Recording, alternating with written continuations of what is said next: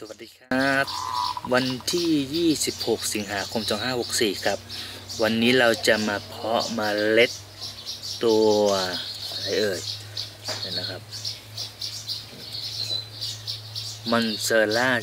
อันนี้ครับมอนเซอร่าให้เพื่อนๆดูมอนเซอร่าใจแอนครับ เขียนไว้ก่อนนะครับ กลัวลืม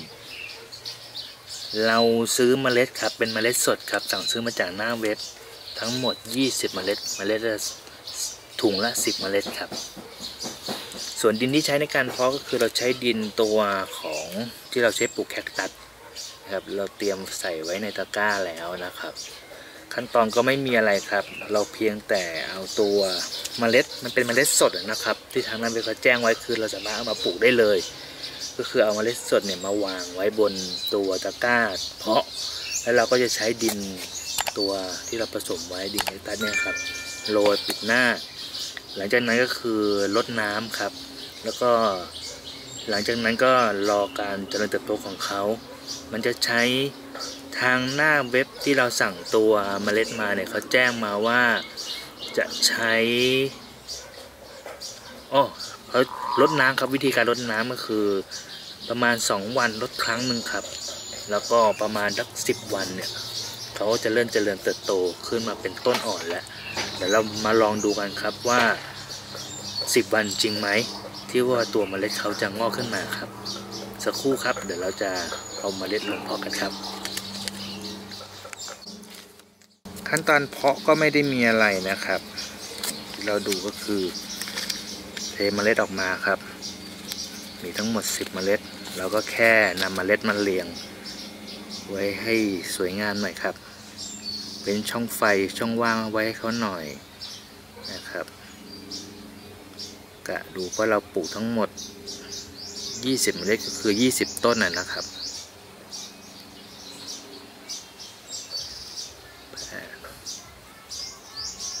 เก้าสิบเมล็ดนี้น่าจะไม่ขึ้นนะครับ ต้องลองดู เพราะว่ามันมันเหี่ยวอู้ตัว ลองดูครับ วางไว้ก่อนเผื่อมันจะขึ้น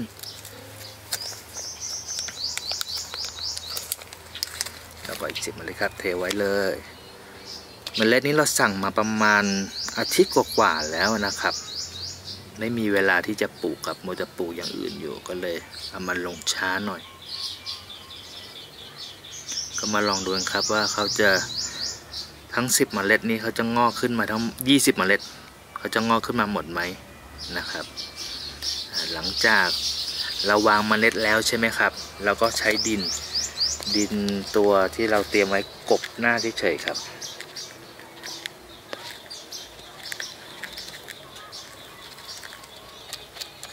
กบบางๆครับ เราไม่ได้กบหนามาก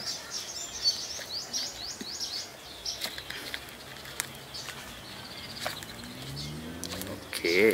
เรียบร้อยครับ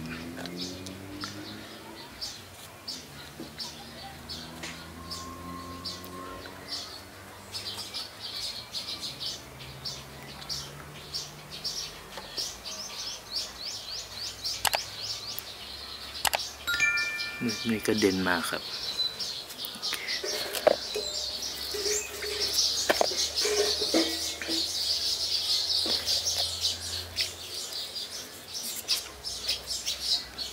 แล้วก็เดี๋ยวเราจะนำไปลดน้ำนะครับ แล้วก็ตั้งไว้ เรียบร้อยครับ ก็เดี๋ยวหลังจากนี้เรามารอดูกันครับว่า ใช้เวลากี่วัน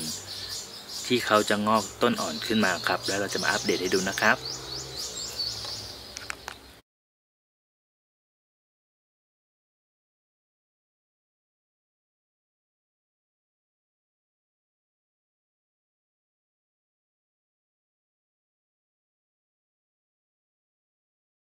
วันที่ 5 กันยายน ครับ 2564 จะพามาดูตัว มอนเตล่าใจแอนครับ ที่ว่าเพาะไว้ตั้งแต่วันที่ 26 สิงหาคม ถ้าเกิดนับรวมวันนี้แล้วก็คือผ่านไปทั้งหมด 11 วัน เรามาดูกันครับว่าการเพาะเมล็ดสดขึ้นมาเนี่ยผมเพาะเมล็ดไว้ทั้งหมด 20 เมล็ด เราจะได้ตัวต้นของมอนเตล่าใจแอนทั้งหมดกี่ต้นเรามาดูกันครับหลังจากเพาะไว้ใส่ในกระบะนี้นะครับทั้งหมด 20 เมล็ด เราลองมานับกันดูครับ 1 2 3 4 5 6 7 8 9 10ตอนนี้ขึ้นมาทั้งหมด 10 เมล็ดนะครับ ผ่านไปทั้งหมด 11 วันอ่าแล้วก็ความสูงของต้นก็น่าจะประมาณเซนนึงครับ ประมาณเซนบางต้นก็เซนนิดๆเนี่ยให้ดูต้นนี้ต้นนี้เซนนิดๆนะครับอืมให้เพื่อนๆดูนะครับ นี่คือการเพาะเมล็ดสดนะครับ แล้วก็หลังจากนี้เดี๋ยวเรามาดูกันครับว่าอีกกี่วันจะ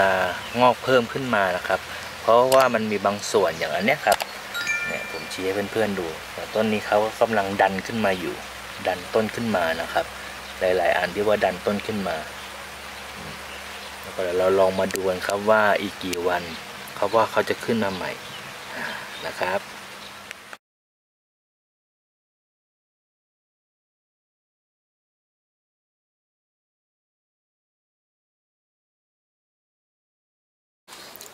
วันที่ 12 กันยายนครับ 2564 เราจะมาดูผลของตัวที่เราเพาะมอนเตล่าใจแอนไว้ครับ เป็นการเพาะแบบเปิดนะครับ เป็นการเพาะเมล็ดสดอ่า เราเพาะไว้เมื่อวันที่ 26 เดือน 8 ครับ 26 เดือน 8 วันนี้วันที่ 12 ก็น่าจะประมาณเกือบ 20 วันครับ ก็เดี๋ยวมาให้เพื่อนๆดูนะครับ วันนั้นเราเพาะไว้ทั้งหมด 20 เมล็ด ผลที่ได้จะเป็นยังไงมาดูกันครับ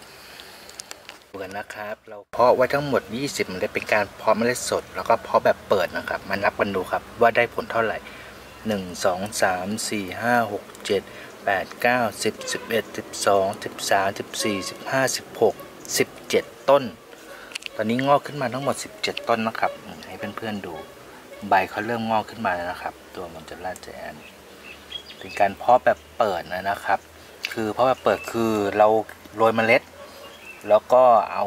ดินกลบหน้าแล้วก็วางไว้เลยนะครับ แล้วก็รดน้ำทุกวันธรรมดาวันละสองครั้งครับ เช้ากับเย็น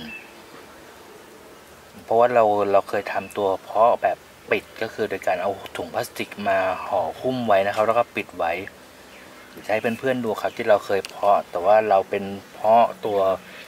ฟิโลใบมะละกอครับเนี่ยตัวนี้ตัวนี้คือเพาะแบบปิดไว้นะครับแล้วก็ตัวมอนเตล่าใจแอนนี่เราเพาะแบบเปิดนะครับอืมครับ ไม่ยากนะครับกับการเพาะเมล็ดตัวมอนเตล่าใจแอนนะครับให้เพื่อนๆดูอีกครั้งหนึ่งตัวนี้นะครับ เพราะแบบเปิดก็คือแค่เราเอาตัวเมล็ดสดมาวางไว้ แล้วก็รดน้ำเช้าเย็น วันละสองครั้งนั้นเท่านั้นนะครับ แล้วก็ต้นก็ดีครับก็คือเราเพาะ 20 เมล็ด เพาะงอกขึ้นมาทั้งหมด 17 เมล็ด ก็หลังจากนี้เดี๋ยวคลิปต่อไปเราก็จะมาทำการแยกให้เพื่อนๆดูครับว่า เวลาต้นเขาโตแล้วเนี่ยเราจะแยกลงในกระถางแยกเดี่ยวแต่ละต้นน่ะแบบไหน แล้วติดตามชมกันนะครับ คลิปนี้สวัสดีครับ